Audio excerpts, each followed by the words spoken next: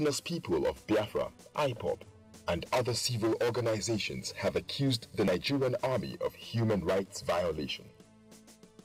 These alleged human rights violation was said to have occurred in the course of counterinsurgency operations in the northeastern Nigeria and in the southeastern part, particularly during an internal security operation involving members of the IPOB whose rally turned violent.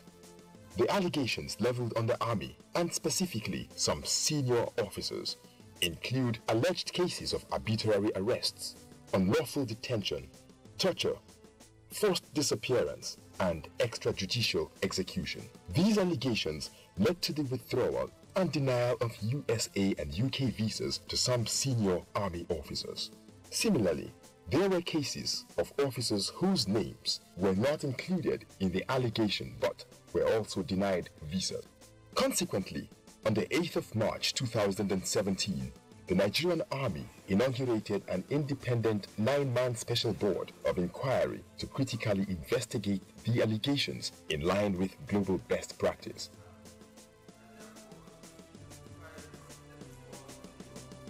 We have uh, uh, human rights activists like uh, Mr. Olawale uh, Fapohunda, who was former Attorney General and Commissioner of Justice of Ekiti State. We also have Mr. Tony Ojukwu, who is a director in the National Human Rights Commission. We have some other retired officers in the committee. And we set out... Few months after the investigations, close analysis of submitted documents, photographs, video clips, visits to different parts of the country, interviews and discussions with state governors, religious leaders, civil society organizations in the alleged affected areas, the Nigerian Army Special Board of Inquiries made public its findings on 18th of May 2017. Uh, we, have not seen anything to do with uh, torture. We see nothing to do with forced disappearance. We talked to the detainees. Some of them are self-professed Boko Haram activists who feel they could still fight Nigerian troops given the opportunity again. We talked to them to find out whether some of them were removed individually or as group and they never come back, which would have what will give evidence to forced disappearance and something like that. We have not seen anything like that. And then uh, in the east, we also went to all the places where the incident was said to have taken place. We went to Aba, uh, which they say an incident happened on the 9th of February 2016, where 17 people were said to have been shot by soldiers. We went there, we talked to the security man on duty in place and some of the community leaders. And all of them told us that nothing like that happens. They alleged that some people were buried in a shallow grave along Port Harcourt Expressway. Uh, we asked them where is the place and what we saw they say nine people but what we saw were more or less effigies of three people or, whatever they are there but there's not nine people also uh, went to Nkpor uh, where uh, they said uh, people who are worshiping God were killed in St. Edmund Church and then some of them were picked and we talked to the resident press and some of the residents in the area they confirmed to us that not to let that happen. Soldiers did not even enter the street where the church is, not to talk of kill uh, people. We went to the bridgehead where they block the uh, uh, movement of traffic in and outside. And uh, Amnesty alleged that 60 people were killed in that place. We spoke to the state governor, Anambra state governor. We spoke, to the commissioner of police, DSS, and uh, some community leaders. And there was no any report of anybody who died. After the public presentation, the board members also had an interactive session with members of the Amnesty International. We are not here to sing the song of the military. We are here to hear once again your allegations and we tell you our findings. We went to all the detention facilities in this country where Boko Haram suspects are kept. We talk with the inmates themselves, individually and as group. And then we talk to the handlers, we talk to each of the state governments where these facilities exist, where the uh, allegations were said to have taken place. We also talk to some human rights specialists in some of the states. And then uh, I want to also assure you that in all the states we visited, particularly in the east, we created a secretariat and we told the press to inform the general public that a committee had been set up to investigate human rights violation against the ECO activities. And we are here. If anybody has anything to tell us, individuals or group, meet the secretariat. We gave our numbers. You have the major allegations, and we have them also. We have summarized them. So if we can take those allegations one by one, particularly as it affects those senior officers, because if anybody is found culpable, it's going to be tried. So we need evidence to support that trial. If we can take these allegations one by one, and then you at least you are reason we discuss with you. So we agree, or we agree to disagree uh, in the end. But what is important is we would have had you firsthand, and you have had the evidence we have. So my suggestion is we take the allegations one by one. Particularly, with those senior officers serving at that are alleged to have perpetrated civil rights, I mean, uh, human rights abuses. And when we finish, we now take the general allegation of uh, all this extrajudicial killing, forced disappearance, torture, and so on. Because if we finish our work and we're able to find somebody who has a problem, it has to be tried. And if it has to be tried, it is only this committee that can provide the evidence. That's why we feel you will help the military to provide evidence so that the military, I mean the military can use it to try it. I just reassure you that Amnesty International is very keen for us to the truth as well as to support any form of independent inquiry into the crisis and the allegations of human rights violations that have occurred in this situation. And I thank you very much also to us and for explaining the mandate of your board. Um, we actually had a few questions regarding the terms of reference, so it's even good that you actually started off with this.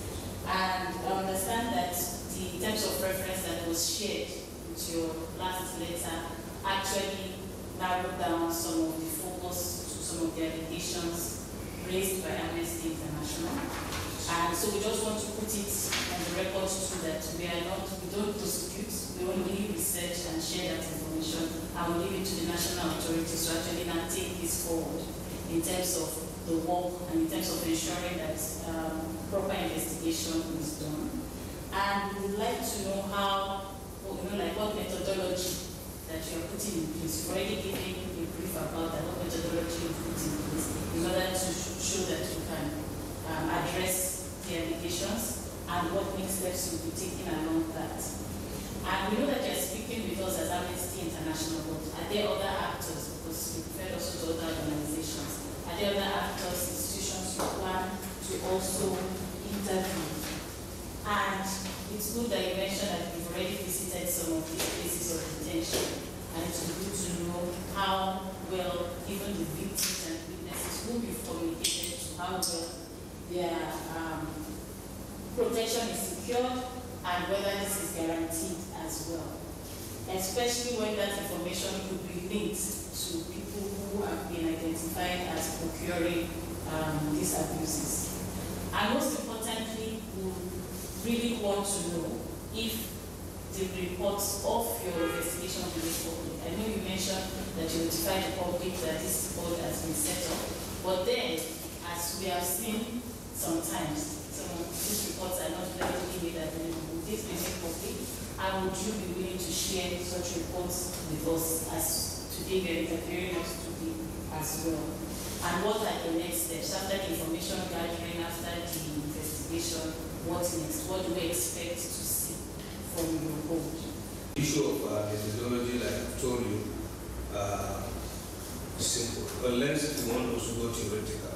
But if you just want us to explain our approach, Yes. uh, first of all, we, we've gone through all the allegations that uh, were mentioned, one by one, against individuals, and then the group ones.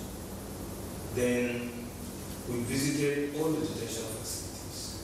And like I said earlier, in all the detention facilities, we were briefed by the handlers uh, what is going on. And then our mandate was also to find out their are feeding habits, How are they fed? Are they being fed in line with some international uh, business standard, something like that? Then medical facility. Is there any medical facility attached to the extension facility? Are there doctors, medicine, and so on? And then sanitation how is the sanitation of the inmates in the place? And then the accommodation. Is it enough for the number of people that are put inside?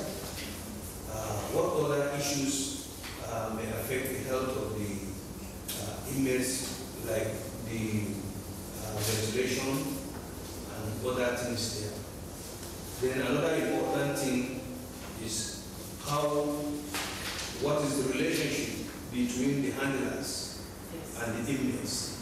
Is it that of cruelty? Is it that of uh, cats and dogs? Is it uh, that of master and servant? And so on and so forth. So we took a guided tour of all the facilities. We went one by one. And then in the process, we are allowed to talk to the inmates one on one, individually and as groups, to find out how they are being treated. For instance, when we talk about cases of uh, forced disappearance, some of the places we went, commanders were not on the ground. They are not the ones that were there when the incident occurred. But the inmates were the same inmates. So we talked to the inmates, for instance, to find out, was there any time when you are in this place when some of you were taken away and they don't come back? You know, It's very important Yes. because they will not hide it because we introduce ourselves and we told them who we are and when we come it's in their best interest that we are there so they don't need to hide anything because they should tell us exactly what they are going through in the place. We also uh, talk to them uh, individually. There are some of them we single out and talk to them. So we also talk to the handlers separately because the handlers are in two categories. Senior military officers who are in charge of the place and the soldiers who are actually staying every minute with the detainees. We inspected their toilets, their kitchen, and uh, even the type of food they eat. So we believe this way we'll be able to authoritatively write on the, the medical facility, welfare and sanitation, and so on and so forth. We've also asked them individually as group whether at any given time they are carried out for torture. It's very important. We saw some of them with wounds which they sustained during arrest, and some of them came with wounds. We asked them to find this wound inflicted on you here, no, they came with it. We told you uh, our finding here we went there. So we discussed. So we either agree or agree to disagree. But what is important is you've heard from us, we've heard from you, and then uh, you take your own decision, we take our own decision. Just like you rightly say, you don't prosecute, we too cannot prosecute. But if we want to say somebody must be prosecuted, we have to produce evidence. So we have gone to the ground and seen what we. So you help us with some of evidence that will help if somebody is found culpable that he can easily be prosecuted. So we can start, the names of it, they are in the book. If you want to, can take, uh, who, why I is this think one? you're referring to, Also, if you don't mind, yes, net seventy. thank you. Um, if you don't mind, uh, uh, allow me to say a few words. Uh, Yes, first, by reintroducing myself. Uh, yes. was I, it might be helpful if you mute the mic from your side to make my echo. Okay. We'll do that. Yeah, I think it's muted now. Thank you very much for joining us. My name is Netsanet Belay. I'm the Africa Research and Advocacy Director. I've been involved in our work on Nigeria for a couple of years, so I'm happy to have joined you uh, in this discussion to contribute um, to addressing some of your questions. Um, I'm just going to make a few points. Um, one by way of reaction to your explanation of the methodology in terms of reference. I do not want to continue the discussion on, on this issue any further, but for purposes of the record, I thought we should better review some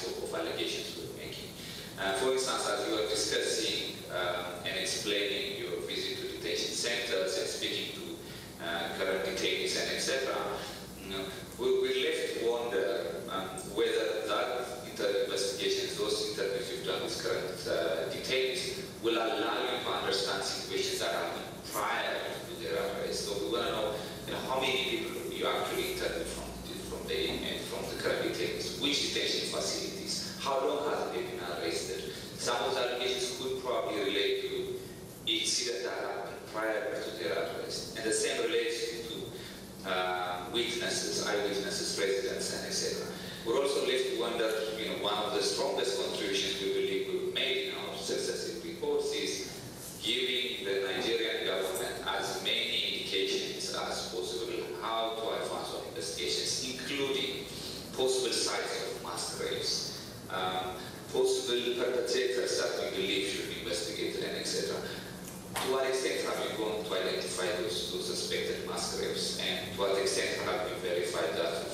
etc. These are all questions that you can play to us. But most importantly, I'm sure you will agree with us, one of the complexities of carrying out investigation, particularly such a panel appointed by, uh, by the military, is the question as to how inmates will be able to give you credible information without fear of reprisal.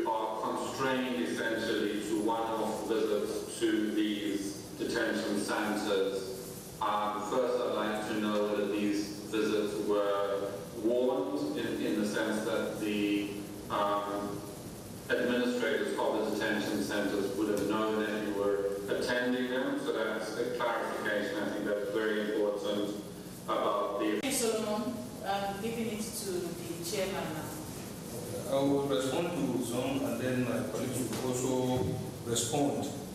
Now, um, with regards to the issue of uh, uh, on whom honors of proof is, you say it's the government that is supposed to prove I have I have a joint platform. I'm trying to connect by video, but at least I'm now away from. Okay, good. We can hear you clearly. Um, the chairman is responding to questions raised. Yeah? Now, I'm talking about the issue of uh, who is to prove the allegation. Um, by our understanding, it's supposed to be the government that will prove the allegation. And I think uh, in all sense of sincerity and for all purposes, investigation, if you allege and say something went wrong, it's you that will prove it and provide evidence the accusation was against a military, I mean a military organization that belongs to the government. So if the accusation will come from outside, and then it is the military that will provide the proof that the thing was done, and then I don't know what type of investigation is that. The allegation comes from Amnesty International and says that there are extrajudicial killings between social period and social period, one social person is in charge. So if you want it is the military that will come and prove that it happened or not, I don't think that is how it's supposed to be. We are independent on our own right. That's why we took time to explain how we accepted to serve on this committee. So we have to find out who alleges what. Now the person that alleges should be able to have evidence. If you made effort in uh, Amnesty's report to show some pictures, and uh, mentioned that you talked to some people and also made interviews and so on. So these are things that uh, person who accuses is making effort to show proof of the allegation. Now, it is not the military or the government that will show the proof. No. We are on this. We went to the place where the incident was alleged to have happened. We talked to some of the victims. We talked to uh, a lot of the handlers, people who live around the area, people who have stake in the issues. We have spoken with them and we have, we have heard their views. So it's only natural for us to come and hear from the person who accuses. So we still feel that it is amnesty that will help us to buttress their point with additional evidence so that when we say Officer A is having problem, it should be tried. We should be able to say this as evidence. We have gone to the ground, we have picked a lot from where the incident happened. And so it's on the basis of that that we are here to hear from Amnesty. We have read the reports. The allegations were clear there.